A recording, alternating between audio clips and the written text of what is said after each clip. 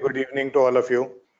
And uh, I welcome you all to this uh, ninth webinar of the Tata TISCON uh, e-discovery uh, series.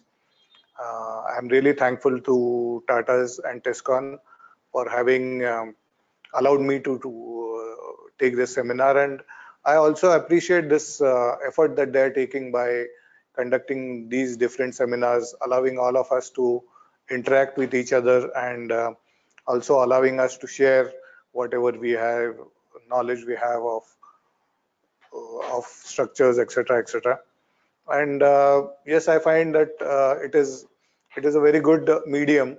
Normally we used to attend lectures and uh, then it becomes very difficult to keep on going to different uh, cities or countries and uh, taking these lectures traveling here and there.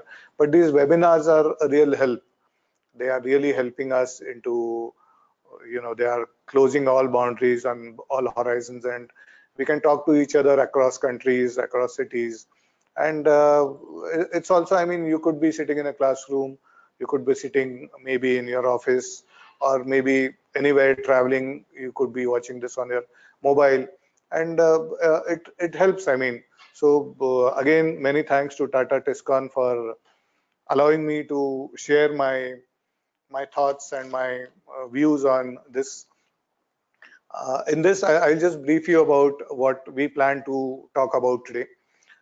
Uh, I'm not I'm not talking to you or I'm not sharing some designs that I have done. I think we have already done that. I've shared all my design, well, not all, but some of my designs in the last webinar. But today, uh, I, I'm trying to share with you something that has fascinated me and i'm sure it has fascinated you also to a large extent. Nowadays we see that the shapes of buildings are taking uh, you can say not 3d but 4d and 5d forms. They are uh, i mean we are all fascinated by the extent to which we can see buildings being built the fantastic shapes that are happening. And uh, it always got me worried as a designer i would say that whenever i get a project of this scale will i be able to do justice to it? Will I be able to really uh, get down to the backbone? Because all these shapes are, you can say, not finite shapes, but uh, they, are, they are something else.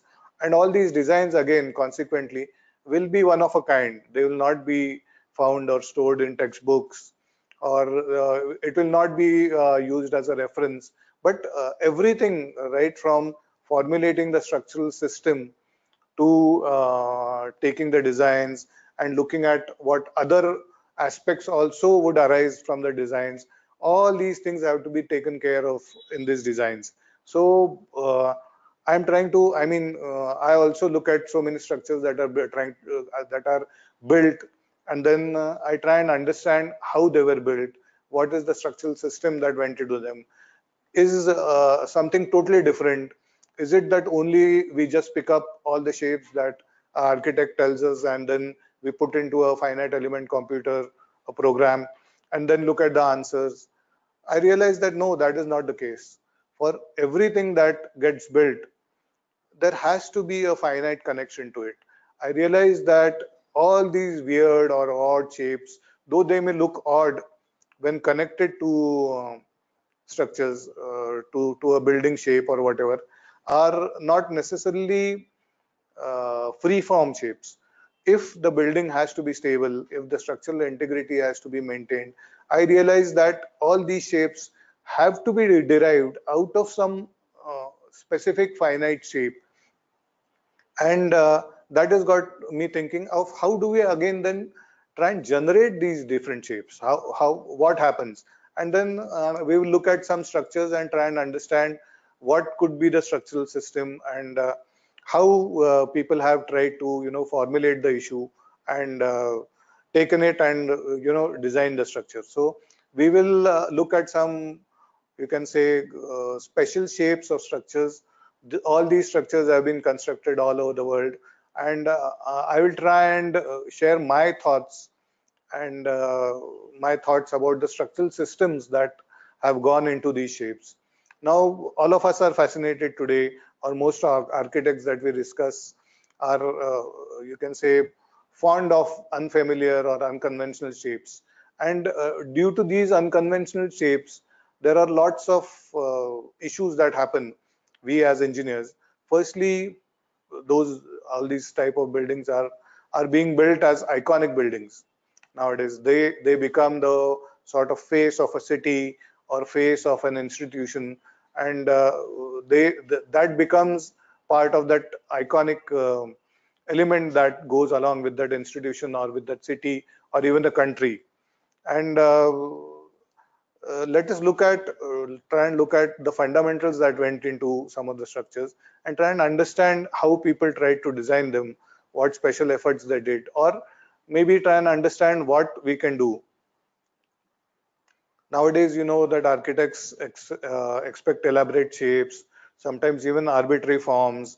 And these arbitrary forms could even you know represent a, a structural or a sculptural object also. And uh, we as engineers have lots of problems with these because these building envelopes cannot be formulated by mathematical equations. And if they cannot be formulated by you can say the whole building shape cannot be put into one equation they become a combination of so many different equations. And if they cannot be formulated by consistent equations then can they really be put into a, a stiffness matrix program and analyzed? So many issues we are as engineers are facing. And then uh, also because of these different shapes the distinction of the structural elements begins to diminish. Since they are not of course composed of actual grids but uh, by distinctions i mean that all of us are very clear with the idea that the columns need to be vertical. They are going to share the gravity loads from the beams and the slabs. And uh, in all these structures or all these shapes we realize that a column may not be essentially vertical. A beam also may not be horizontal. There are so many different uh, ways in which they are going to be represented and uh, the load paths are going to be different. There uh, you can say because of the geometry not all the members all the members are going to be equally loaded and there are so many aspects to all this so again as we say the third part essentially is building envelopes are primarily decided by building skeletons, which we are all used to doing. But when we are confronted with odd shapes, this is not necessarily true. Nowadays, we find that computer nurtured, nurtured design models of complex shapes cause they cause you can say complicated structural framings. And uh, most of the times these framings are not required for structural elements or supporting the maybe the floors or the walls but they are required for supporting the external shape also. So that is another aspect that goes into the design of the buildings. Because of all these odd shapes we normally find that most of the uh, spaces that are being created inside the building may be unreasonable maybe unusable also but they go with the shape i mean that is what like for example you take this plan we find that there are so many shapes here, so many areas here, which really cannot be put to very good use, you can say. Or if I take a section, a similar section of uh, a different shape, we find that there are so many places along the ceilings uh, or maybe at corners also where uh, we cannot positively use them uh, as they are. But yes, they are part and parcel of, you can say that building and they have to be there. Sometimes in our design we have to try and avoid all these dead spaces. And all these dead spaces and these odd shapes would give rise to structural irregularities.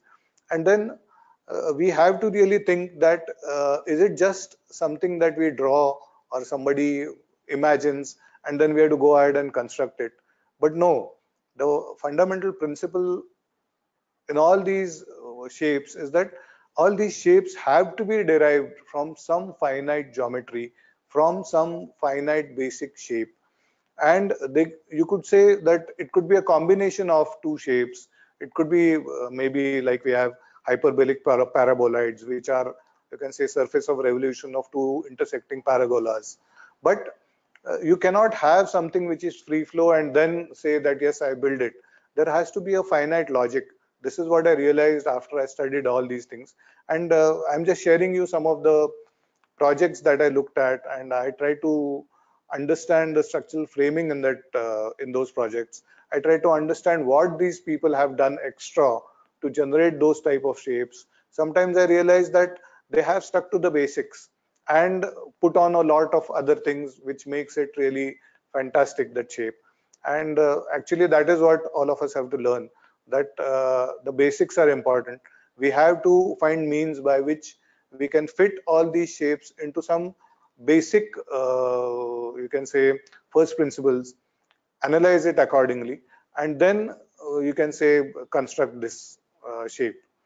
So um, we can we'll try and understand the fundamentals of trying to generate such finite shapes maybe in 2d and 3d 2d uh, all of us are we are not very uh, used to you can say 2d nowadays because of computers and 3ds and graphics. We are all but uh, the generating these shapes can be put down to you can say generating shapes out of a sheet. You know how do we cut a sheet a two dimensional sheet and generate shapes out of it. Hmm? it is a series of cuts you know. There are uh, various cuts. The cuts are defined into multi-level the hierarchical cuts. Also there are different motifs attached to these cuts. By doing this we can transform a simple shape into a complex shape. For example if you look at this picture we'll see that we have a rectangle here. This rectangle we are going to have a series of cuts like a vertical cut and two horizontal cuts. And then we just the motifs or the things we can change them we can rotate them we can shift them. And you can see that these this small square can be transformed into so many different sort of shapes. Uh, these are just vertical and horizontal cuts. If i take some oblique cuts also then we can generate similar shapes. You can say that this is a hexagon. I take this hexagon and make uh, four cuts to it and then i can generate so many different shapes. But when i am doing this then i can be assured that whatever shape i build will have a definite geometry. It can be defined. The coordinates can be found out. And once that happens will you will be able to you know generate a computer model of that and uh, you know be able to uh, design it and analyze it also. Again as we say um, uh, there are some these are some higher level shapes you can say. This is level 0 where i have maybe only two cuts and then this doesn't go on you know. I take uh, level 2 where i have two three cuts and then uh, lots of things open for me. By doing this my shapes can be extended to various forms. Then i take more cuts you can say as i say uh, the level increases or the hierarchy increases and then the shape that can be generated can you know go on. You can say as my level increases the complexity of my shape goes up. So you can say we can start doing this. We can say level 0 it doesn't expand. Level 0 then we can have uh, for example you can go back and see for level then i can have these shapes rotated also not just transformed. Then level 3 we can have sort of increasingly complex uh, structures then as i said the motifs i mean i start from a square and you can say we can end up anywhere. You can say a b c d are various forms where you can end up. The motifs uh, here we can say that we have only one angle of rotating this while we can also uh, rotate it in an another angle. So we can have alpha and beta and so that results in various types of structures. So if we really study these patterns carefully then we can find that by just taking starting with a simple pattern we can go on and we can mix different regions and uh, different cut levels and uh, you can you know take these structures to uh, various levels like cuts and uh, motifs you can say. So you can say how these patterns will progress and how many cuts and how many motifs. You can really transform a, a, a you can say a 2d space into a uh, into a totally different shape here you can see that uh, I start from a square or a rectangle. Then I can take that to various levels various levels. Uh, for example I mean uh, we have a silicon rubber sheet where uh, it is just a plain sheet. I'm trying to stretch it on this sort of a uh, you can say a semi semicircular this thing. And depending upon the type of cuts that I put onto that sheet you can say different type of shapes are being formed so our buildings have to be similar to this. I mean, they have to follow a pattern. Then that pattern can be uh, in disarray, you can say, if you want. But then unless you have a specific pattern, you're building the structural issues are not going to be. Uh, a perfect example I found is this uh, pedestrian bridge, uh, which has been constructed in Belgium. This pedestrian bridge is used to, you can say there are two tram lines below and two roads actually. I was very fascinated by this shape. I mean, I always thought that we should have a plain truss. And what is this? How have they constructed it? So I tried to find out the structural system. You can see this uh, bridge is located on the coast. It is collecting, connecting a village uh, with the beach and it is crossing a coastal road and a double tram line. Uh, you can see that the overall structure is essentially consisting of two, uh, you can say irregular, very irregular timber uh, warren trusses. These trusses are actually supported by reinforced concrete portal frames. And uh, these trusses are sort of, you can say, Meccano-like. They are assembled together in different layers and in different in different shapes, and they sort of create a lot of visual interest architecturally. But uh, as structural engineers, these uh, shapes also create great eccentricities, which form, you can say, secondary moments, lead to a lot of secondary moments. The top and bottom chord of these this uh, bridge are uh, uh, our main members uh, are sort of built up beams and they're held together by packers. This is just a, a structural diagram of this we can see the packers here we can see the top chord the bottom chord on each concrete portal frame there is a steel frame between the wooden members which provides the overall lateral stability though we look at it this way this structure is not essentially three dimensional this structure this structure is essentially only two dimensional and if you look at the results uh, this uh, you see here is a you can say a, a diagram showing the tension and compression generated in the members. And you can see that uh, it follows this principle that diagonals are in tension, but not all diagonals are in tension. So all this has to be checked as we are going in for these unconventional shapes also. This is what I told you. This is the way they have been sort of pasted together on a, a top top member. This is the top view. And uh, the main issue is that the eccentricities created or the secondary stresses that are generated because of these odd shapes have to be really taken care of and uh, they lead to secondary moments and uh, they should be properly designed for for these structures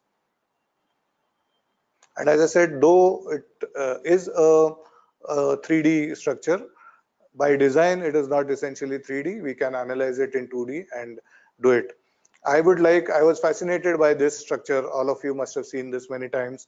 This is the famous uh, TGV station designed by the genius of this century, Santiago Calatrava. And um, I looked at the structure and first uh, it made me very much afraid. And uh, I mean, we look at engineers and what is this? I mean, looks so complicated. And then I decided that I, I need to get to the bottom of this yes it looks grand it is it is fantastic but tomorrow if i want to design a structure like this what steps am i going to follow why is, uh, is this uh, something really fantastic yes the visualization the imagination that has gone into this structure is fantastic.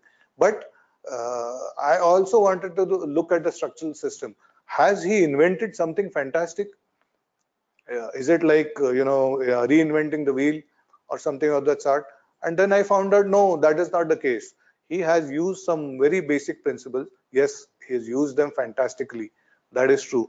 But uh, yes uh, i can break this down into smaller elements into smaller portals and i can plot a bending moment and a shear force diagram for all of this hmm? you can see uh, it really looks fantastic and yes this is uh, this is the genius of this man who can visualize this but uh, let us look at the structural aspects of all this. Uh, I have some animations of uh, the whole structure and uh, uh, you can see that uh, it is actually two different structures which are interlocked. The station hall is a soaring assembly of glass and steel. It is set uh, in the ground below, which is a massive reinforced concrete podium. The station hall roof is a series of cantilevered steel beams. You can see uh, here that uh, the station hall roof is a series of cantilevered steel beams that span across five slender arches. You see the arches here. All five arches share a single abutment on one side only, while on the other side only the middle and the other two arches have freestanding uh, abutments. You can see from the first uh, pages here. Here you can see that there is uh, one support on one side and two supports on the other side.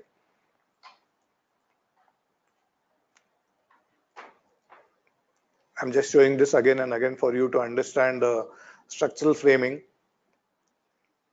Uh, this is this shows you how the lateral loads on the station hall roof are translated to the roof diaphragm. And though this looks such a complicated structure, I'll just come down again to this and uh, you can see that though uh, it looks so fantastic, it can be translated into a single frame, a single frame like this. Though this is not a beam, but you can say uh, uh, differently shaped beams and these are cantilevers. And then we can plot the bending moment diagram, the shear force diagrams.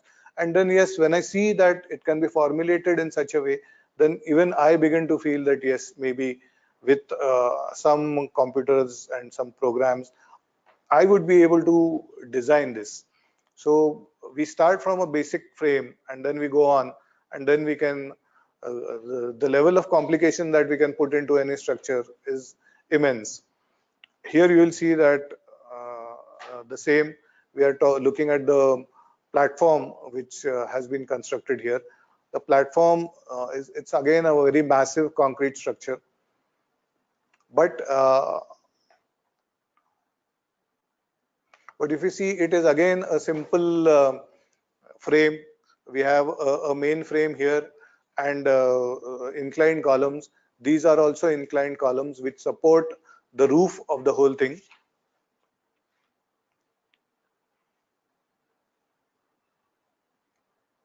So if you look at the bending moment diagram, you can find that yes, you can quickly relate to these bending moment diagrams.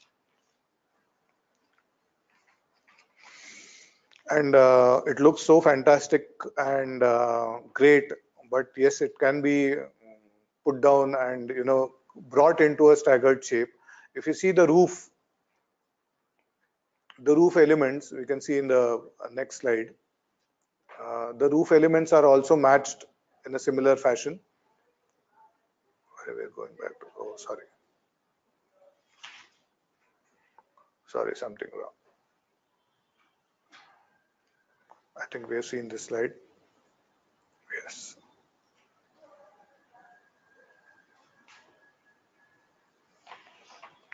As I said, the first thing that we showed that we have so many arches, that's all.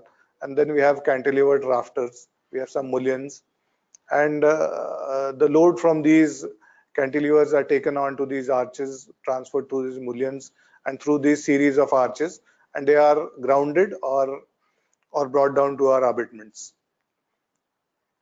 So the structural framing system can be put down into these uh, simple uh, aspects. I think we are missing something. But anyway, that is the way, I mean, those fantastic structures can really be broken down and uh, analyzed. We see that as a whole structure, but when we come down to it, we see that it is actually two structures superimposed on one on each other. And each structure is uh, unconventionally thought of. That is what happens. I mean, instead of having long beams, we are having arches. Because of the long span, the arch gives much more uh, optimized uh, cross sections. Uh, this is another, uh, you can say, structure that has fascinated me because of its shape. Again, this is the Serpentine Gallery Pavilion in the United Kingdom, and uh, it is typical you know you can say uh, exemplifies the history of uh, so to say small romantic constructions that have taken we see in parks and gardens. And uh, the so-called you can say the follies of the 16th to the 19th century. This design is based on two sculptures which were created by the architect himself. And the goal of this project was to replicate the brittle fragility of the paper uh, machi, which uh, uh, and again maybe the light and dark that happens. But uh, as structural engineers, when we start looking at all this, we see that this is essentially a, a steel frame on which we see that thin, uh, semi-transparent about these are GRC panels. They are 13 mm uh, in thickness. And uh, the uh, steel frame is visible. And uh, these steel frame is you can say supporting these GRC panels. And these steel frames are simply supported on sandstone blocks you can see here. These are just blocks so there is no you can say elaborate foundation but those sandstone blocks themselves act as uh, the blocks. And the main uh, you can say the main uh, uh issue here is that uh, we have to the analysis of the or the behavior of the glass fiber shell and its impact on the steel structure below has to be uh, you know sorted out and uh, that is what makes this structure that that much more interesting. You can see this is the the sculpture which the architect had in mind. And uh, this is the you can say skeleton which the structural engineer has put in place to generate that sort of a design. So though the end uh, you can say the vision is different you can say that uh, there is there is lots of similarity in what the architect thinks. And again all this abstract shapes are possible because they are put down into a finite shape and the resulting structure becomes a, a part of that shape. We look at another structure. This is the school of government at oxford in the united kingdom. This is again a different sort of structure because the structure has a very you can say intricate geometry that is uh, it consists of a series of stacks you can say toroids. Toroids you can say are surfaces of revolution or which are uh, even the surface of revolution is a, a, little unplanned. And all these series of stacked toroids are offsetted and uh, these are offsetted from floor to floor. And this offsets creates setbacks and cantilevers in the external elevation. And again it gives a sort of a different facade uh, to this. This whole complex interaction of the structural members, the vertical members are actually the walls are the supporting columns and the slabs, they are actually post-tension slabs here. They are also taking the load of the upper walls, you can say, and uh, upper slabs and transferring all this effectively to the lower parts. Because of the complexity of all this, this whole structure has to be analyzed as one we saw in the previous uh, two examples that we did that the whole structure can be put down and essentially we could you know break it down into maybe 2d uh, 2d structures which are mixed together in different planes and analyzed. But a structure of this type cannot be analyzed only as a 2d it has to be and it is analyzed by creating a finite element model and uh, all the post tension slabs everything have to be analyzed uh, in this structure so a structure like this essentially relies heavily on the 3D modeling of the structure. While the previous structures that we saw, we could uh, look at them or we could analyze them or we could break them up into distinct structures which would not again transfer loads on each other but are uh, have different you can say uh, shapes another simple structure actually this is not not simple but if you see the completed shape it is a little complex because of the shapes, heights, and expectations also. Uh, this is actually a residence. It is uh, has a, you can say a plinth area of around 700 square meters, about you can say 7,000 square feet, and uh, there are some floors involved into this. And uh, the architectural concept was such that it led to very few possible locations for columns, and then it resulted in big zones of cantilevers and then um, all this became combined with permanent action like all the walls were stones so the weight of the stone also had to be taken care of. And uh, in such structures again we see that the vertical deformations are very important. The vertical deformations could be within permissible uh, range as per the codal requirements but from the serviceability view they have to be restricted so that all the building elements are not damaged like windows or floors so in our IS codes, like we have restrictions of up to 20 mm. So here in such structures, we can see why these things happen. But uh, again, as we see, a skeletal system was used here, where some trusses have happened. And uh, because of the varying shapes and the varying slopes, we find that the depth of the trusses also could be uh, changed. And uh, this depth led to greater stability and lesser deformations also. You can see uh, uh, this is again a structural diagram and you can see how the shapes of each truss is varying. And uh, but though it is varying we can say that it, it essentially follows a pattern.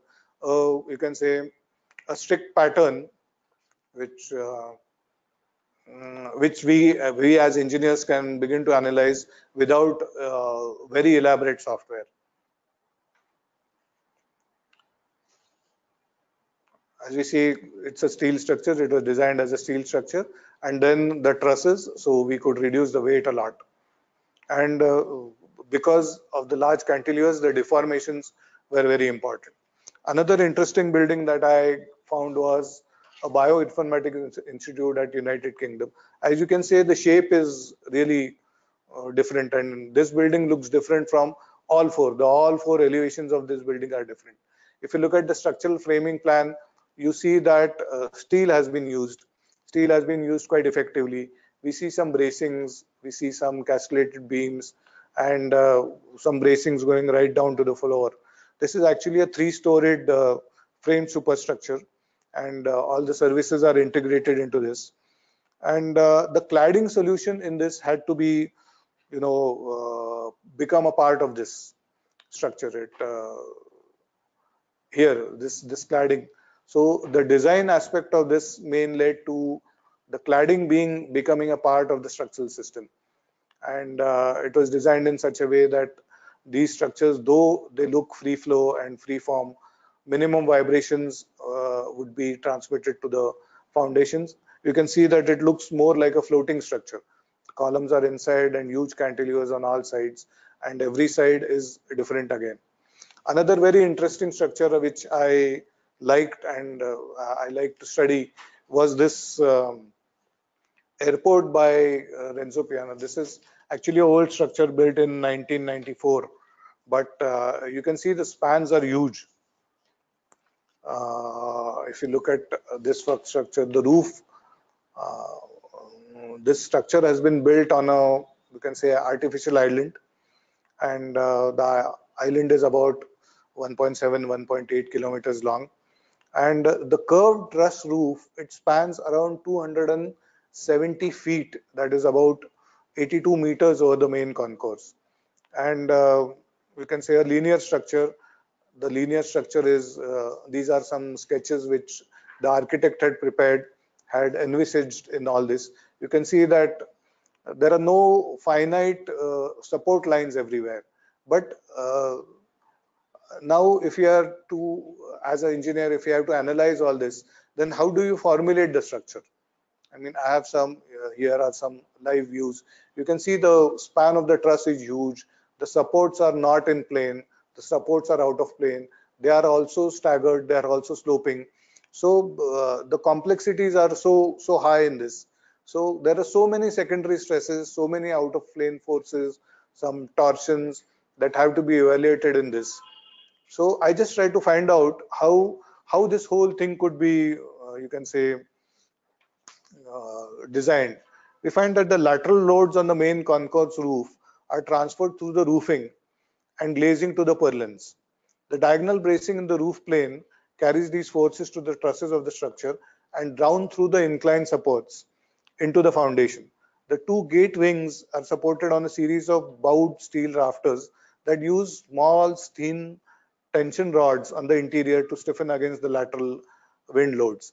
You can see here that it's a huge span, but fundamentally, again, uh, this can be uh, analyzed as a uh, as a 2D structure, and uh, because of the spans, the the loadings are huge, and uh, uh, the deflections you can say are quite. I'll just take you to the deflection diagram again. And then when, when we start looking at the deflections or the bending moment diagrams, then we find that we can very quickly relate to them. It is not something uh, spectacular or uh, by spectacular I mean something which is not understandable. Here we find uh, this is just a diagram showing an animation showing the load paths. Uh, we find that not all the diagonals are effective for uh, a unidirectional load and because of this load you can see the support we have resultants which can be broken up into two components. And uh, then they will transfer the load to the lower floor. The sides of uh, this floor is a small unique structure. Again it's, it's it is made a little flexible. And uh, we have a stay here which is given because it takes care of this wind. So because of this we find that this whole thing is in compression and while this stay uh, the the vertical column becomes in tension and our stay remains in compression.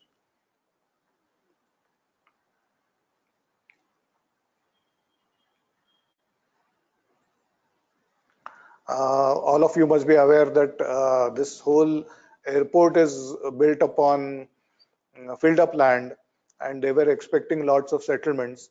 And uh, so the foundations have been built uh, like they have provided jacks below for the foundations so that uh, whenever there are some settlements these jacks will lift the structure back to its original position. So all of you can appreciate the extent of the flexibility of the structure. Though it is a huge large span structure then it has to be a, a non-brittle structure and it has to take care of such severe deformations.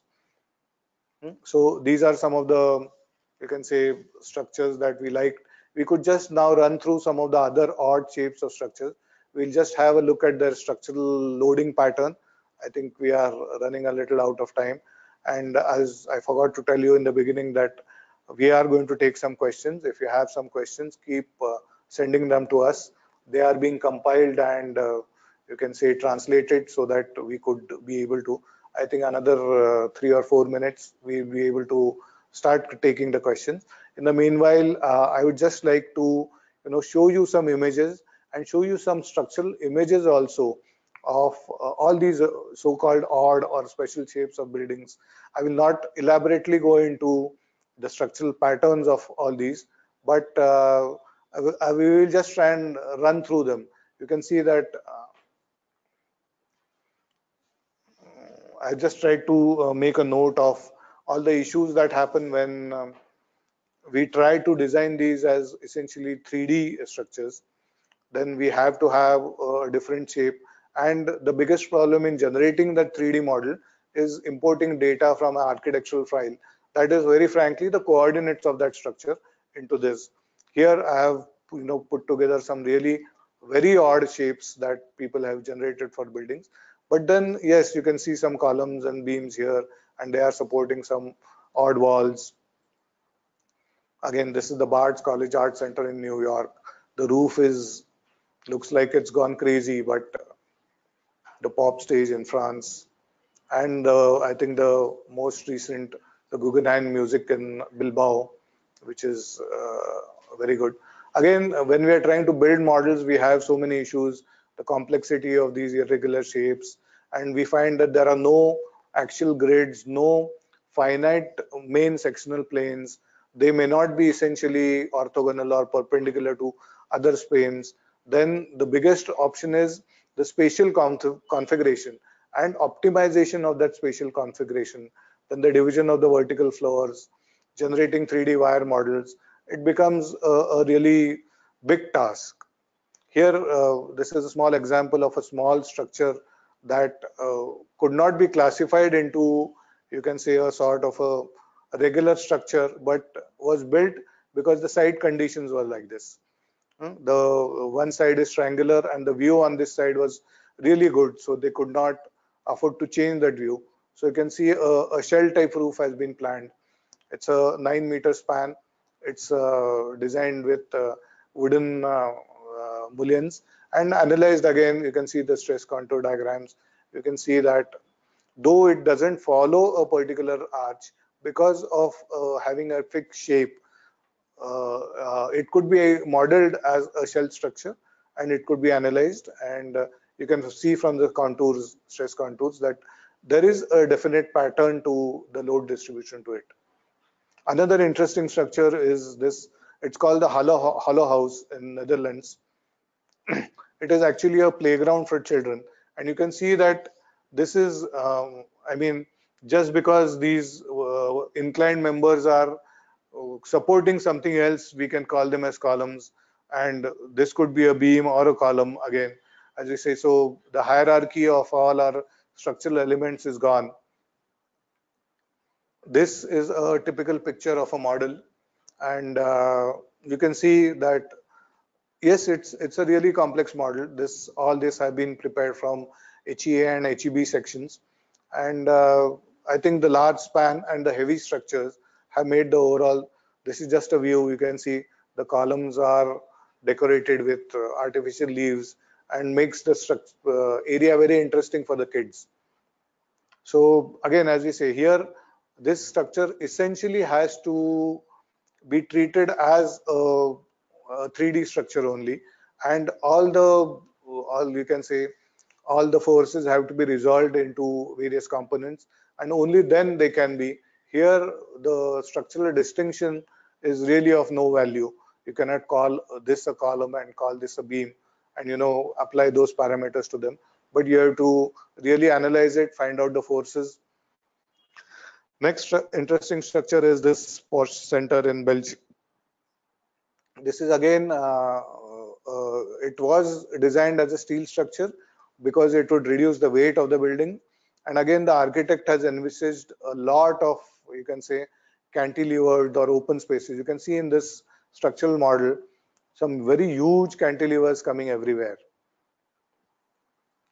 You can see here that same cantilever is translated here. You can see it is really huge and here the uh, the criteria would only be serviceability here it would not be you know the codal requirement that the deflection has to fit into this no if the overall deflection of this cantilever would be more than maybe uh, 30 or 50 mm you will find all these crack glass and all the tiles above would start to crack so uh, you can see the uh, the structure has been designed another very interesting and very odd structure you can say is this uh, church uh, in the United States. The interior of this church is also fantastic and you can see that this is a full glass facade. The main sanctuary you can say is uh, surrounded by what they call as seven sails and a full height glazing. It is, uh, you can say that glazing is highlighting about 3000 square feet of hard glass wall. The building plan is based on several, several you can say eclipses forming a geometrical basis for the sloped walls and the structural framing. As I said again, all the shapes are defined finite and uh, the walls are are bent or curved or shaped differently or rotated differently. We saw uh, in our previous this thing the alpha and beta in those motifs is different and here the architect has used everything possible to ensure that that simple shape is turned into a, a, a really elaborate arrangement. This is what it looks like from the inside. It looks really fantastic. This is that uh, glass facade, which is uh, about 3,500 square feet from, from the outside. You can see what a grand uh, effect it has on, on the, the, overall structure. This is another, uh, this is the new headquarters of the Council of the European uh, Union in Brussels, Belgium. It's a really complicated structure. It had to be analyzed as a 3D structure. You can see uh, it's a lantern shaped structure, but then that lantern by itself, by that shape, is not stable. So it had to be stabilized by two concrete cores. You can see the atrium roof and the double facade which it has. It encloses that, so to say, lantern. A photovoltaic support structure is placed on top of the roof and there is a large Vierendeel inner facade. You can see the complications, but since you can find that all the shapes that are gone into this remain finite and vertical, here is a, from this you can get a idea of the, you can see the colossalness of this whole structure. And all this is held in place by these side uh, Vierendeels, so, so to say. Another fantastic structure is this uh, so to say bridge uh, built in Switzerland. You can say that uh, this bridge does not follow any conventional form or shape. It is just, I mean, it is just, you can say, uh, a, a, picture of imagination of somebody. But then how it has been translated into a, a finite structure, how you can say we have some pylons here and we have some post tensions, uh, so to say members here, which are supporting the deck and the structures have been so proportioned though in, in the photo it looks very sleek you can see the shapes and structures are so that all these post tensioned elements could be easily placed. And because of putting all this in 3d we could find that all these post tensioned do not intersect with each other. They could be placed positively and they could you can say be stressed properly. And that is how this whole thing was put together. You can see the beauty of preparing a 3D model. We have some images of the locations that have been put for for the tendons. You can say it's a heavily uh, post-tensioned. Okay, I think uh, we are running short of time. Uh, shall we start taking any questions or we'll just run through some images. This is another beautiful, you can say hyperbolic paraboloid shaped abutment and deck slab of a bridge really complicated but really put together uh, nicely this was uh, analyzed in finite element by breaking it into so many um, elements. And uh, the main issue as we see is the generation of the geometry of these structures. Once the geometry can be generated then we could go on and you can see though it's a bridge it looks so sleek and uh, the shape gives it stability. Uh, the computer program uh, required nearly 3200 shell elements to be uh, prepared and modeled to use this structure. And uh, again as we see the shape provided stability because the lower shell acted as a compression arc and the concrete being good in compression reduced the uh, amount of reinforcement required. Another picture of that shell. Uh, I think we are running out of time, so shall we just, it's another simple multiple uh, structure that was created. And again, you see that we have some columns going down into the ground. Then we have some round beams supporting the columns and some further round beams which uh, support the roadway, so to say. Do we have some questions also? I think uh, we will just pass these uh, uh, images. They, they are very good, but they are similar. In the end, we have this um, Nike factory building, and uh, again built with precast elements and so many things. So, uh, in conclusion, we can say that though irregular shapes are they they should be generated out of some design patterns. They can be they can be structurally stable if they are I mean, we can put a, a, particular finite pattern to it, and they can, in that case, be analyzed effectively. Most free, uh, we can say, most free flow shapes, the designs are mostly speculative, and uh, it's very difficult to analyze them, and uh, structural stability of these structures will always be suspect. Uh, big thank you to all of you for uh, being here and uh, supporting, watching this do we have time for some questions? I have some questions and uh, I'll just take whatever is possible.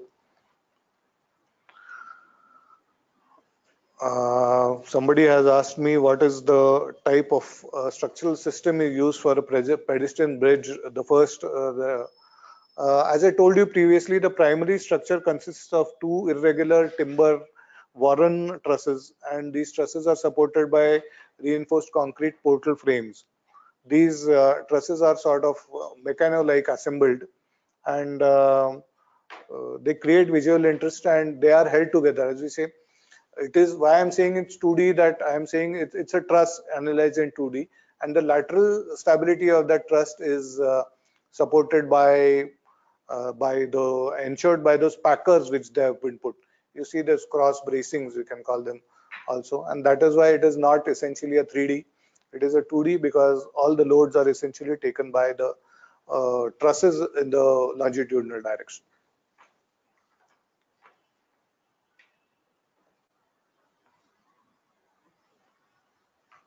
Somebody has asked me which one software is best for analysis.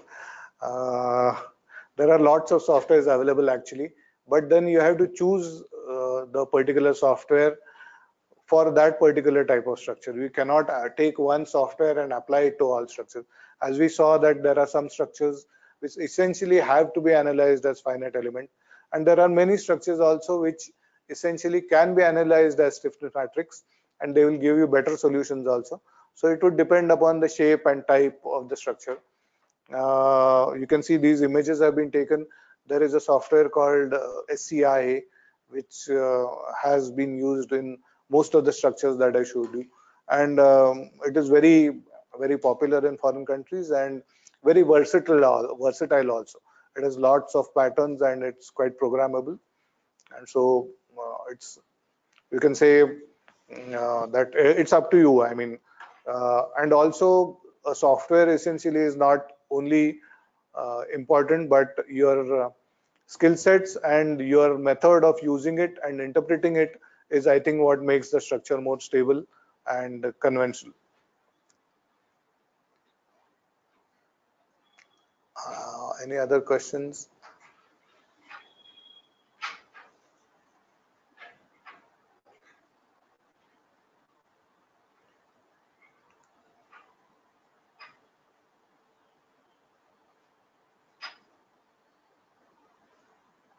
Can you also elaborate on the dimension? I'm sorry, I'm unable to understand this question. I, uh, what is the significance of GRP you said? Okay, uh, in that um, round uh, elliptical structure. See, the GRP forms the shell of the structure. You can say, uh, like we have uh, concrete slabs. The GRP is what is, uh, you can say, uh, GRP is again glass reinforced concrete. It is concrete and it is a thin shell which which is actually taking all the loads and transferring all those loads to the steel frame. So like we have a thin shell made of concrete, here the shell has been made of GRP.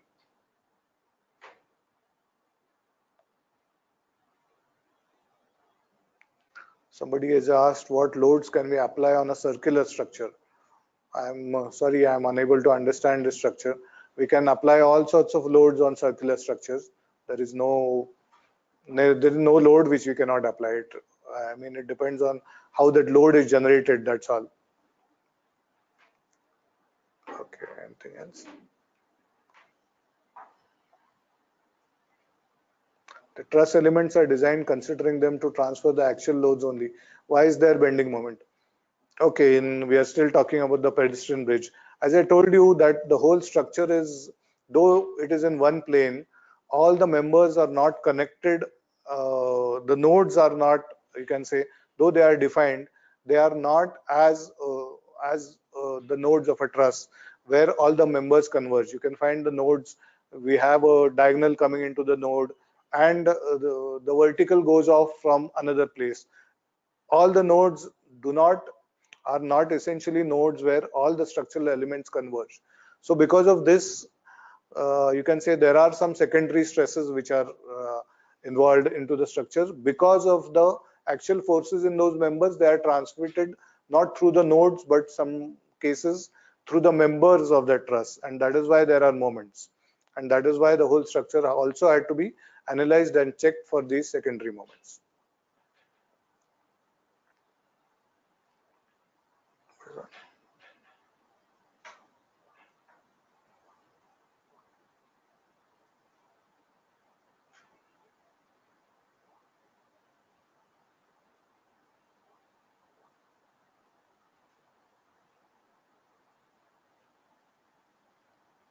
somebody has just uh, asked me please suggest the uh, feasibility in the indian scenario uh, i would suggest that it is up to us engineers to prompt or to provoke all the architects to go a little beyond their regular domains and try and plan these structures so that we get a chance to design them i think there are lots of structures which are coming up in india also which are being very elaborately tackled and designed.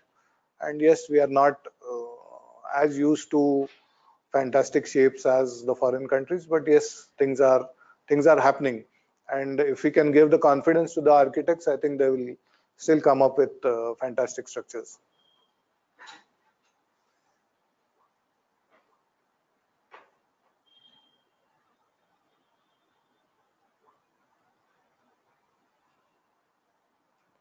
Some people are still thinking that all these structures have been designed as, by me. As I told you in beginning, this is just a study which I have done.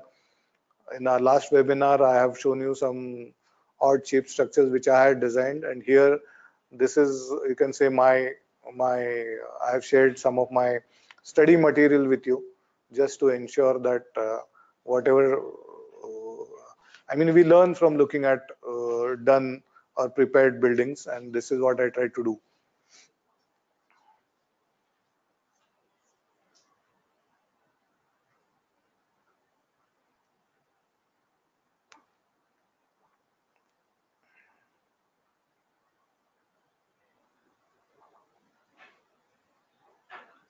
I think there are some questions which I don't uh, uh, are these structures eco-friendly? But i mean that is not the purpose of this uh, webinar. I was just trying to you know understand the structural systems uh, used in all these odd shapes. Are any structures available in india? Yes there are lots of uh, structures with these shapes available or being done in india or which have already been done I think that's all. Okay, so thank you all of you for this uh, opportunity and especially to Tata Tiscon for giving me this opportunity once again and uh, allowing me to share my, you can say my, my studies and my experiences with all of you. Thank you very much.